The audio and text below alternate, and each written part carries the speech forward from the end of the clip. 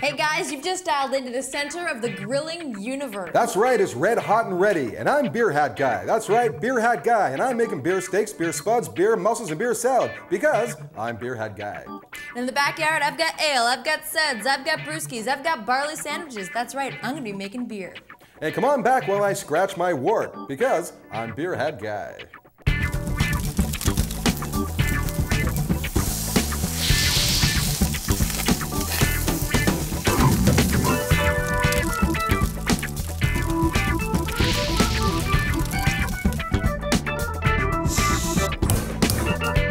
To the grill.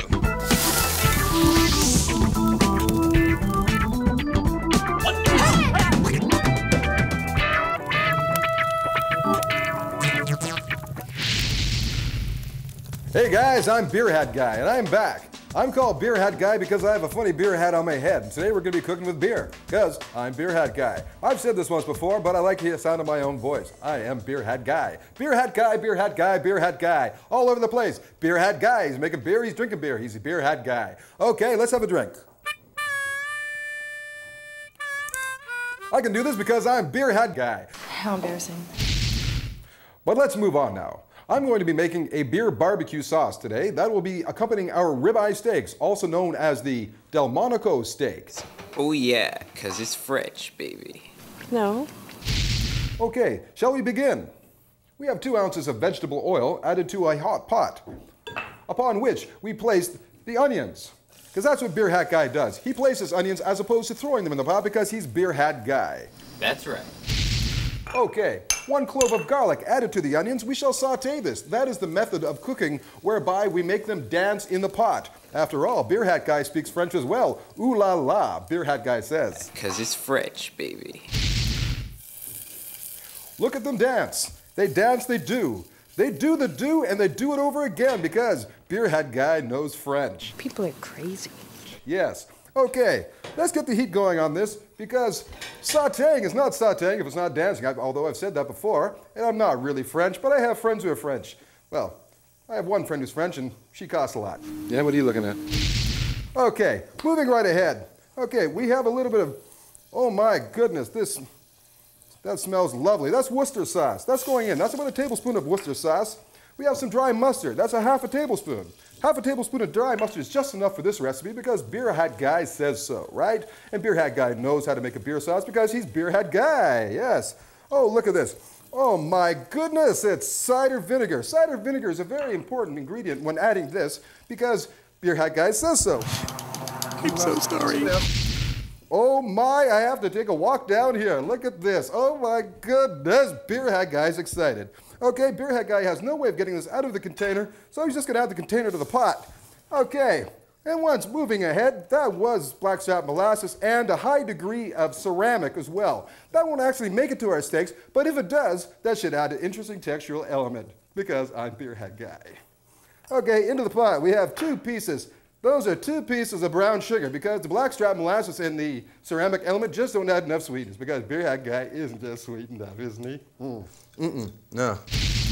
Okay, adding to this, we got some ketchup. Ketchup, that's right. Ketchup into the pot. Ketchup into the pot. At this point, I think we can lift this out, wash it around, and that seemed to have worked. No more textual challenge for our steaks, kids. Okay, let's just spin it around a bit. Walking over here, getting the bat. We'll just crank that in there a bit, because I like the pepper, because I am Pepper Beer Hat Guy. You know, he's not funny. No. No. That's right, no. Oh my, when we come back, this should be all finished. We're gonna be moving on to another recipe because who am I? You got it, I don't need to say it. I'm Beer Hat Guy. Now, I know a lot of you boys enjoy drinking beer, but have you ever considered actually making it? You know, it's really not that hard, and after a couple times up to bat, you might even find yourself hooked. Today, we're lucky to have a beer expert with us. We've got John from the brew shop, and he's going to let us in on a couple of his secrets. Now, John, you've been brewing beer for 40 years. You must have a couple of tricks up your sleeve. What's your secret weapon? Well, the cleanliness would be the big thing, and uh, keep the air away from it. All right, stay with us because everything's coming to a head. It's all about finding your inner caveman here on Red Hot and Ready.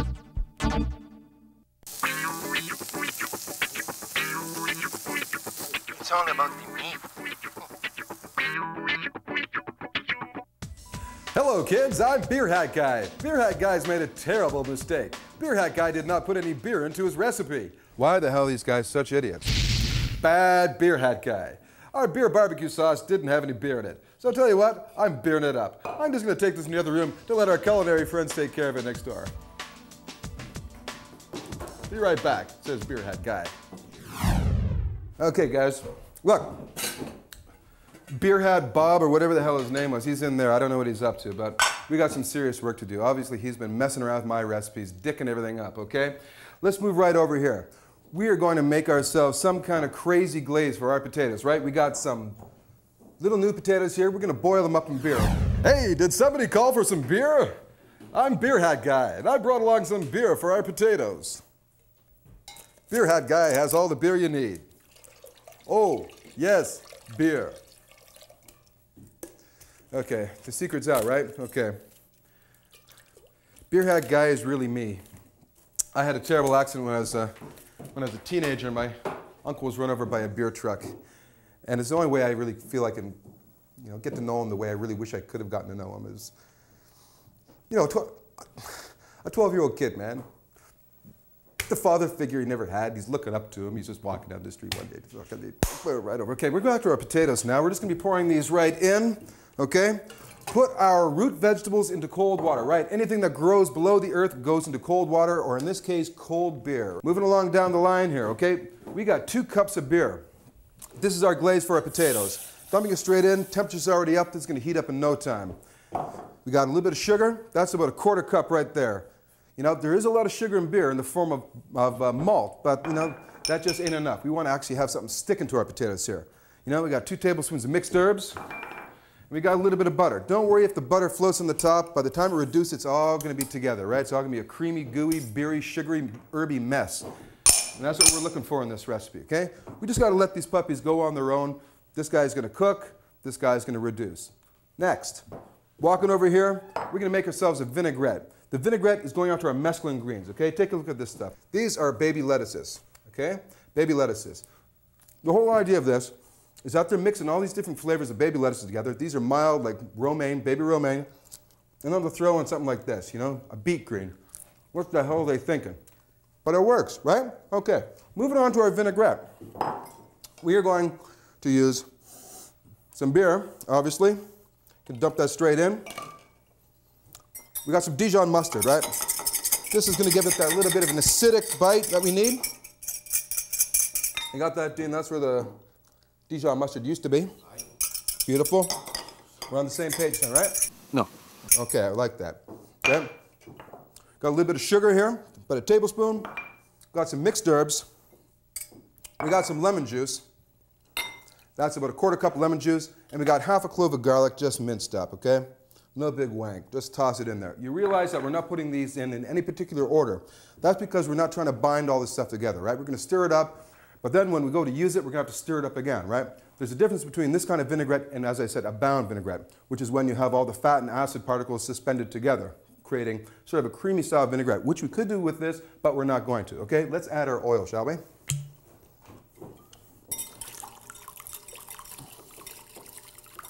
Hey, Quacker, you like salads? Oh, yeah. Well, don't get any ideas because it's not enough for you, okay? Okay. Time traveling. Okay, adding a little salt to my potatoes there. This is going to take a little while, so I've made arrangements with Cracker. I'm going to pay him 50 cents an hour to watch this stuff while it cooks. Meanwhile, I'm heading outside. We got our steaks, we got our mussels, we got our fish. Actually, we don't have any fish, but if we had some fish, we'd be pouring beer on it too. And maybe when you come back, we'll see Beer Hat Guy. We're back, and I've got Dom from the brew shop, and uh, we're talking beer. Now, what do I need to know to get into this hobby? Well, a couple of short things, uh, cleanliness and, uh, and lack of oxygen. Okay. And what about how much does it cost to actually start the processing and really get into the hobby? The old-fashioned way, 25 cents a bottle. The more modern uh, real wort uh, beer, 40 cents a bottle. All right. It's not all that much. $50 for the equipment, you're away. You're in business. Okay, so you're actually saving money because it's nice and cheap per bottle. Oh, yeah, and it's fun. I agree. Yeah, I've been hearing about a lot, a lot of uh, recent innovations with the brewing process. Tell us a little bit about that. Well, I think the biggest, the biggest in innovations have been in the ingredients. They're now packaging uh, uh, an actual real beer wort from a brewery which you can just uh, add a little water to, pitch the yeast, and uh, ferment very quickly, and boom, Bob's your uncle. But luckily, the names will be changed to protect the innocent. So let's start the process here. Tell me exactly what I need to know to be brewing some beer. Okay, first of all, we mentioned clean, cleanliness. Um, you take your uh, um, beer brew house beer wort, for instance. That's real wort these days. It's not the canned stuff. Okay. And what exactly is wort? Oh, wort is uh, just uh, the the beer before it's fermented. So therefore, you just you just put it in your uh, open open lid primary fermenter. Okay. Um, add a little water, put, pitch the yeast, let it let the yeast develop for about two to three days, uh, no more. Transfer it to the re relatively airless carboy with an air lock to keep the oxygen out. Okay. Uh, let it finish there. It'll take about two weeks. This is a pretty neat contraption. What did you say this is exactly used for? It's just a valve to allow the, uh, the gas to bubble out through but not allow the oxygen back in. Okay. Do you have any tips to save money? Um, less than $5 a dozen for real beer is, is pretty good. I like it. So what about different variations on beer? Um, can I make framboise beer at home? Framboise, I've added raspberries to that. That was a, it's an invention of the Belgians. and It's really quite a bit of fun. Okay. Um, we have here a Mexican cerveza. Uh, you can make anything from a stout all the way up to a very light one. So if you follow all John's tips, you can have a nice batch of beer yourself. Thanks for helping us out, John. You're very welcome. And when we come back, we're going to be bottling it up. It's all about the meat.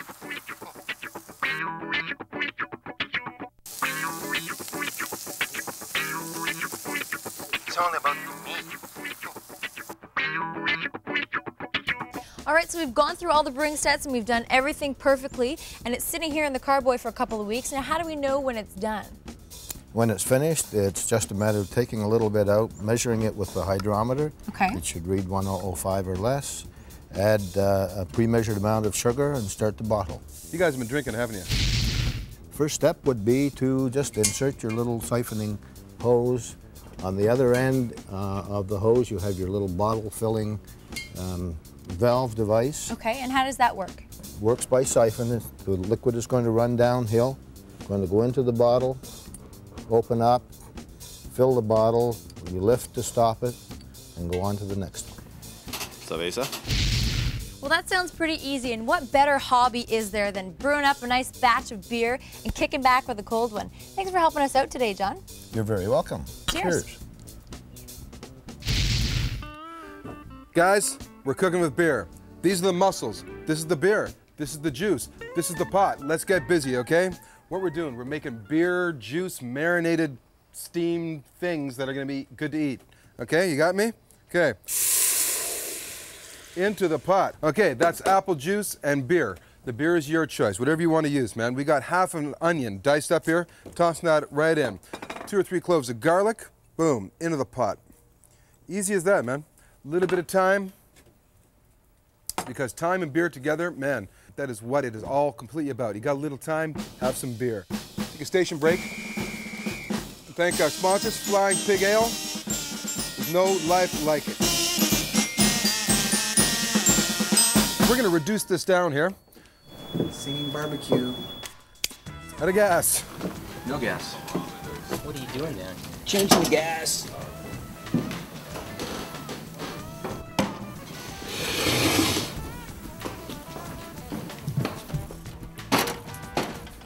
Boom! Jesus Christ. You're live and gassed up. Cracker, duck the camera. There's gonna be an explosion. Okay, 12 ounces apple juice, 12 ounces of beer, little onions, little garlic, little thyme. It's all gonna be fine, man. Just gotta let this come up, reduce down a little bit, throw our mussels in. It's gonna be all good, man. These are gonna be the most succulent mussels you have ever had in your life, okay? If that's not true, my name's not John Pritchard, and I'm not working for Big John's Barbecue Bonanza. Let's work on our uh, steaks here now, okay? These are marinating for a couple of hours now. These are looking good. Okay, put them straight down here. We're gonna wipe as much of this barbecue sauce off as possible, right? Because this is just gonna burn very quickly on the cue. We're gonna baste it every so often with it, but initially when you put it down, it gets that sear, gets that grill mark happening. You don't want as much on this as is on it now, okay? You got me? I got it. I got it. Okay, let's oil these puppies down. Lots of oil, okay? Be generous with the oil. Dirty, dirty boys. Straight onto the grill, that's what I'm saying. You know what that's the sound of?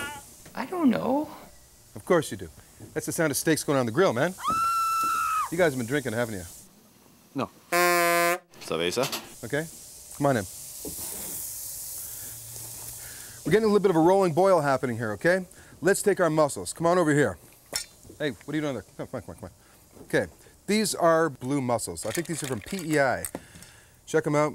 They're not blue at all, really, so, hey, I didn't name them, I'm just cooking them. You notice that some of these babies are open. To check if they're alive, all you have to do is click on them. If they close their shell, like this one isn't, it's dead, okay? So if your mussels aren't willing to close up, you know, ask them nicely. If they don't listen to you, smack them around a bit. If they still don't listen to you, they're in the trash, okay? For the most part, it looks like we're good here. Yeah, give them a rinse before you throw them in too, okay? We've already done that, so I'm not gonna have to show you that. Straight in. These are gonna take about seven minutes or so, okay? So we're gonna shut these down. Give them a little shake. Wave the magic knife. We got our potatoes here that are par cooked, okay? We took these about three quarters of the way. Just a little bit squishy, you know? They're gonna continue cooking on the heat of the grill. What we wanna do first, dump them into here. Get a little bit of oil, toss that on there. We are gonna be basting them with our glaze, but the thing is the glaze does contain some sugar, so we don't want that caramelizing on the grill right away. Toss these pups up, take it here. Don't even have to look. That's how simple it is, man. You may not want to try this at home. After all, I am a professional barbecue expert, okay? So, like, this is our beer with the butter, the sugar, the herbs. Got a little flame leaping up there. That's fine. That's going to die down in a second. Besides, they got their jackets on, right? Protective potato wear. I knew it looked familiar. They're not going to burn, you know? Where there's smoke, there's fire. And where there's fire, that's where I'm cooking. Because I'm the barbecue master. Cracker, some drinking music, please.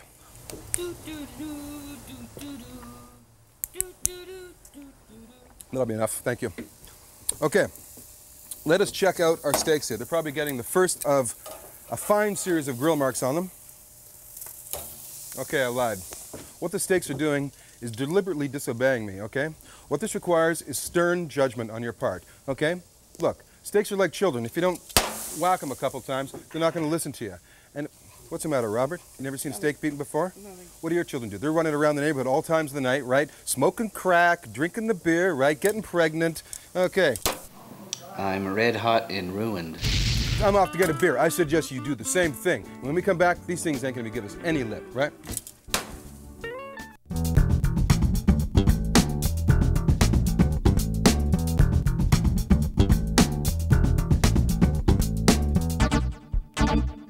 Okay, guys, let's get a little bit more of this glaze on these potatoes, right? They're looking nice, man. The skins are crisping up. Got a couple grill marks, nice and golden brown.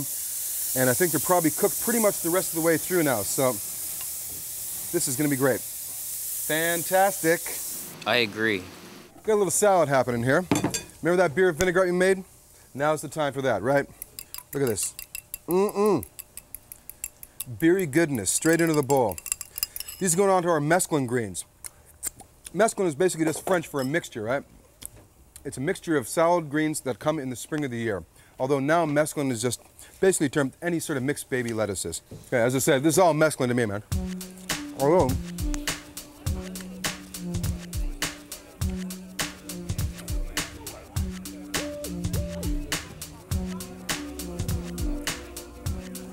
this is nothing like the mesclun I did in 75, man. The bees are karma. Back to the grill. These babies are ready to come off. Look at this. A perfect medium rare right there. How do we know it's medium rare, okay? You feel that? Grab your hand, put your thumb and forefinger together. Don't squeeze. Grab right here. Feel what that feels like. That's medium rare.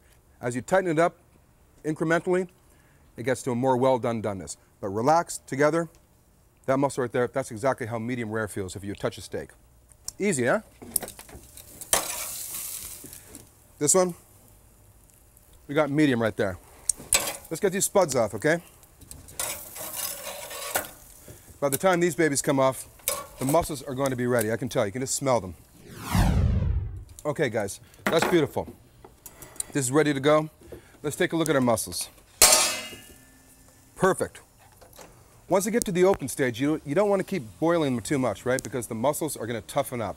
As soon as they're open, take them off. Let's check these out. Wie van het Dean? Hey, Dean, you want a mussel? Sure. Okay. There you are. You need anything. And for those who don't know, here's a kind of interesting technique. When you're eating mussels, you don't need a knife or a fork or anything. All you need is the first shell that you opened. Reach inside the other mussel and use this as a pair of pincers, right? Just like that. Now, I really shouldn't be doing this because I'm almost certain that Melissa's favorite food is pretty much mussels. Now, she's talking about mussels this, mussels that. Last night I had a great mussel. You know. So, come with me. I wonder where she is.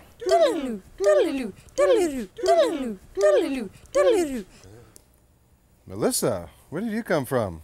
Well, I came to see all the lovely food you've been cooking for me. Well, look what I've done, okay? We got a beer barbecue sauce marinated mm. steak, ribeye steak. We got beer glazed potatoes. We got beer poached mussels. Yum. And over here, we got a fantastic beer vinaigrette on some mesclun mm. salad greens. What do you think? What's the verdict on this? Oh my God, it's awesome. Yeah. Um, this is like the best salad I've ever had. You, s- y- y- psst, psst, psst. Hey, guys. Can I smell my tooth? Oh, crap. Guys, take a look at this. For the younger members of our viewing audience, any idea what this looks like? It looks like a mussel, John. A mussel. Yes, it does. Very fishy. Hmm. Watch out, boys. She's lethal. That's funny. Yo, there's only one reason she's liking this so much. Because we're red, hot, and ready. The home of smoky good eats.